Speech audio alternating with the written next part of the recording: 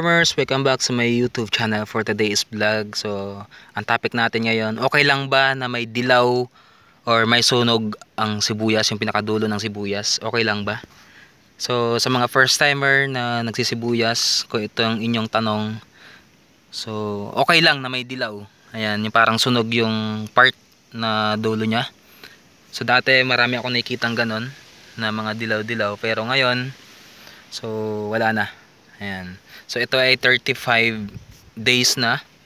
Kasi nga nagpapalit siya ng ng dahon. Okay? So mapansin nyo, ito tatlong dahon. Yan. Ito mag-aapat na nga to. So okay lang 'yon na magdidilaw-dilaw yung parang ano niya, yung dulo. Yung dulo ng sibuyas. Okay lang 'yan.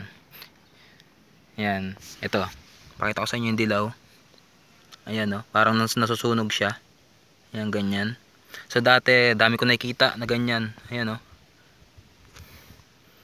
Pero okay lang yan mga farmers at nagpapalit yan ng dahon. Okay? So tamo dito sa part na to. Wala ka na may kitang may dilaw. Ayan. Hmm?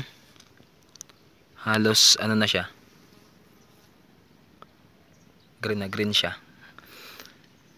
So yun mga farmers.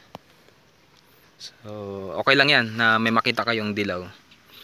Baka kasi iniisip nyo sa pag-aabono or spray kaya nasunog ng ganun. So kasama yan sa sibuyas talaga. Yan. So parang natural yan sa sibuyas. At nagpapalit din yan. So yun yung may dilaw na yon, yung parang nasusunog, yun yung may buto na parang umaakit na buto. Napansin nyo kapag sumibol ang sibuyas, may makikita kayong parang atang-atang niya yung buto. So yun yung uh, karaniwan na dumidilaw. Pero nagpapalit din ng ng dahon. Yan.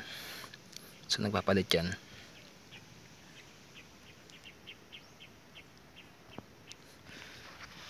So mga farmers, ito dito wala kang makikitang dilaw yung parang nasusunog wala kang makikita yan